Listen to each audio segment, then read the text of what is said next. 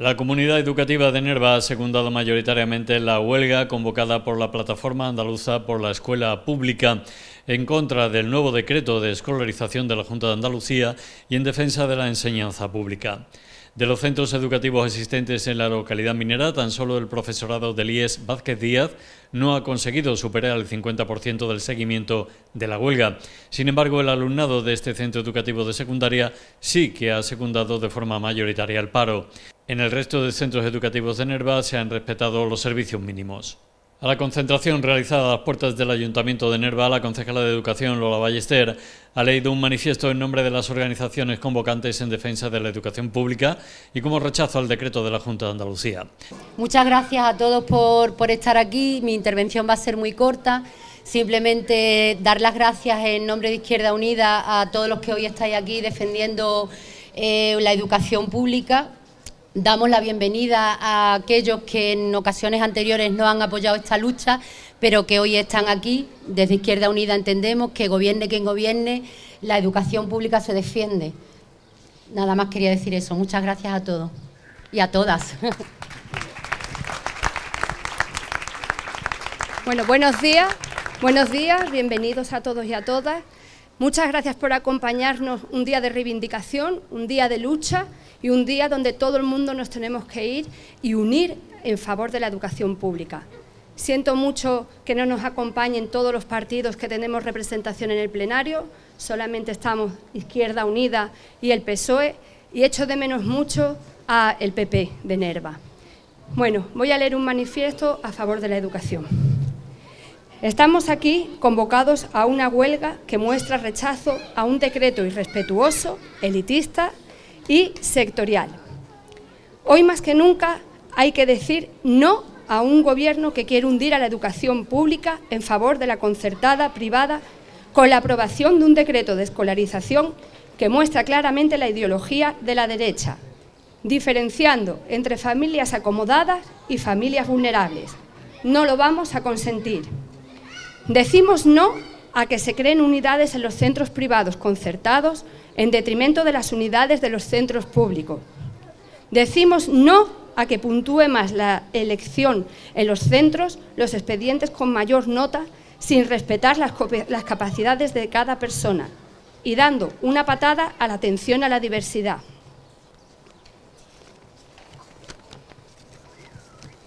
Decimos no a un decreto que no respeta al alumnado con necesidades educativas especiales porque los relega a centros concretos huyendo de la inclusión.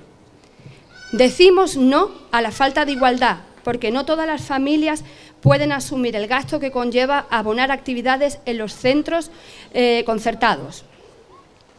Decimos no a que un grande número de docentes no tengan la posibilidad de trabajar en la escuela pública porque les deriven a otros centros o porque no sea necesario aumentar la plantilla. Decimos no a la falta de inversión en la infraestructura de los centros porque con esta medida los centros privados concertados se llevan mayor cuantía. Decimos no al olvido de las zonas rurales porque la concertada incide negativamente en las condiciones laborales del profesorado y el coste requiere aportaciones extra ilegales para las familias que no estamos en las ciudades.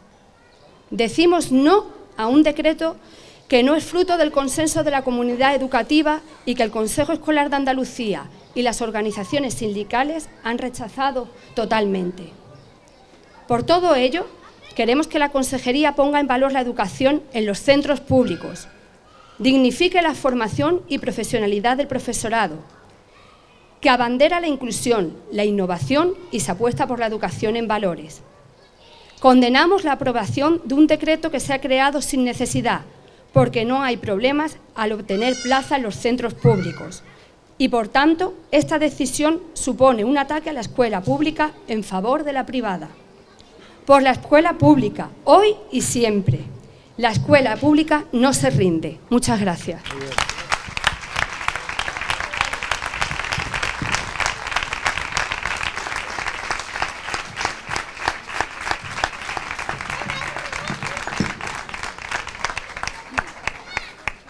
En el mismo sentido se han pronunciado algunos de los profesores de Nerva asistentes al acto y el alcalde de la localidad, José Antonio Ayala. Me gustaría decir eso, que hoy y siempre, las que ha habido y las que habrá. Ha apoyado siempre la huelga, este año toca de Nerva, siempre he estado en Sevilla en Huelva, pero bueno, vamos a apoyar la huelga hoy desde el pueblo. Bueno, seguimiento mayoritario en el colegio, prácticamente servicios mínimos solo, ¿no? Sí, desde el colegio, que yo tenga entendido, servicios mínimos. En el instituto también me han informado que prácticamente igual. Y de otros centros, de otros pueblos, igual, parece que esta huelga es muy seguida. Y contentos que estamos. Lo tenéis claro entonces, ¿no? Sí, sí. Este decreto es un ataque frontal total a la escuela pública y no nos queda otra. Bueno, pues estoy aquí pues para apoyar todas estas reivindicaciones y luchas en contra de esta Consejería de Educación, que es una fantochada, es una cosa esperpéntica, empezando por el consejero de Educación, el famoso Imbroda, y todo el gobierno trifachito que hay en Andalucía, ¿no? Esto no puede ir a peor, no tengo la más mínima esperanza de que vaya a cambiar nada, porque a esta gente les da igual que el pueblo entero se eche a la calle, y vamos a llegar hasta las próximas elecciones, ahí sí creo y tengo esperanza de que el PSOE vuelva a gobernar. Y ya está, eso es lo que hay, e intentemos, intentamos echarnos hoy, desde hace muchísimos años, no se echa toda la comunidad educativa a la calle y masivamente se a la huelga. Hay muchísimos centros educativos en el que el 100% de la plantilla de profesores van a la huelga, esto es muy significativo, profesores a punto de jubilarse que más o menos podían decir, a mí ya me da igual esto y yo no voy a perder el dinero de este día, interinos que sí se juegan mucho, gente que tiene sus plazas en, peligro, en fin, afecta a todos los colectivos. También afecta a las madres y a los alumnos, que son los que echo de menos aquí en el, paseo de hoy, porque aunque los, profesores somos los que vamos a la huelga, esto afecta mucho a, los niños y a la juventud que está en el sistema educativo. En fin, esto es lo que hay. Nosotros ponemos nuestro granito de arena y, a ver si esta gente se van del gobierno cuanto antes. Por cierto, hablando del gobierno, ¿qué te parece? Y terminamos las declaraciones del consejero calificando esta huelga como, esta huelga como ideológica. Yo qué sé, mira, yo después de ver al consejero en la rueda de prensa pasándole la, palabra al director general ante las preguntas de la prensa porque no tenía ni idea de cómo contestar lo que se le estaba preguntando, ya de este hombre me puedo esperar cualquier cosa. Lamentablemente, pues yo no tenía mucha esperanza con este hombre, lo conocía del mundo del deporte, del Real Madrid, baloncesto, de la selección española. Tuve ocasión de verlo en Sevilla recién nombrado y hablé con él unos minutos. Amablemente me atendió, le di mi, opinión de, bueno, del nuevo gobierno que entraba y, le pedí unas cuantas cosas, pero ha sido todo, bueno, este hombre ni pincha ni corta. Es decir, no lo van a quitar siquiera, pero aunque lo quitaran, que pusieran, seguiría haciendo lo mismo. Esto es una cosa sin sentido. Podrán achacarnos quien escuche estas palabras o las de otros compañeros que, que los de antes y los de antes no tienen nada que ver. Por muchos errores que se cometieran, que nadie es perfecto, no tienen nada que ver lo que está pasando ahora mismo en Andalucía, y especialmente en el mundo educativo, con la situación que, que teníamos antes de que entrara este, este gobierno. Pues la verdad que muy satisfecho. Mm, tengo que decir que me dicen los profesores del Colegio Maestro Roa que es la primera vez que el 100% de la plantilla que no tiene servicios mínimos ha secundado esta huelga. Del instituto no tenemos datos, aunque la concejala lo ha estado intentando. Pero bueno, lo que la noticia que tenemos es que el seguimiento es muy muy alto.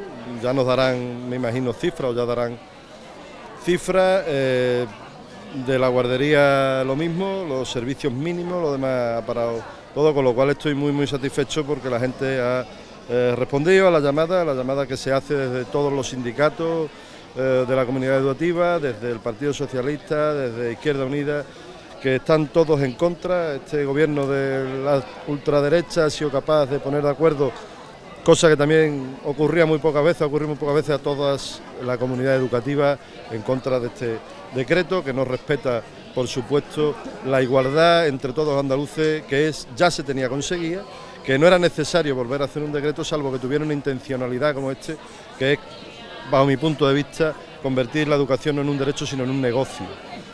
Un negocio elitista, donde eh, los más pudientes van a poder elegir los centros y las actividades que sus hijos entiende que tienen que tener, donde ese incremento del esfuerzo fiscal que hacemos todos, porque cuando un gobierno dice voy a invertir, pero va a invertir con lo que te prestan o con lo que te aportan en los impuestos todos los ciudadanos, no puede ser que sea que entre todos estemos pagando solamente a la parte más pudiente de la sociedad que va a ser la que pueda elegir. Y pongo un ejemplo, de, viendo por encima nada más el, el decreto, Aquí en Nerva, pues bueno, eh, es evidente que nada más que tenemos centros públicos, pero nos podemos encontrar con el esfuerzo cada vez menor en lo público, tengamos cada vez más deteriorado nuestro centro, porque aquí no es eh, goloso para el negocio privado. Y en los sitios donde esté privado, pues aquel que no le interese o no le guste, aunque sea cercano el colegio público que tiene, se va a poder solo ir a un concertado.